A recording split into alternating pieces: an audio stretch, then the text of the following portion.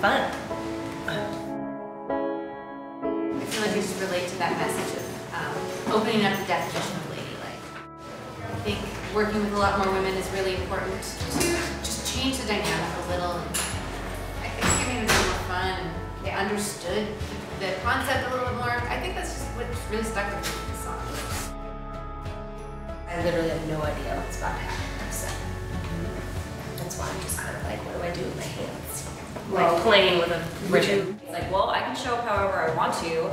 You don't get the right to tell me what's ladylike. I get to decide that, and I decide it's like this right now, or it's like this right now, or whatever it is. And I think that's a lot of what the song is kind of saying. And that's that's a really empowering message, and I think it's really something that we're starting to see more and more, and it's so important. Still I've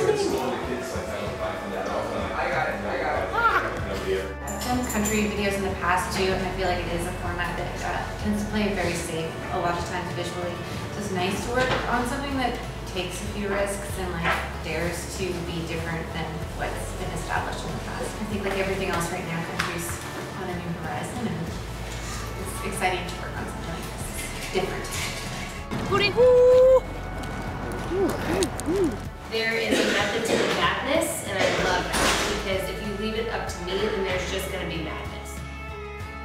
It definitely helps having fellow creative minds like trying to be the best that they can be too, and always trying to push themselves. Because I know that I'm trying to do that every time I'm in front of a camera or writing a song.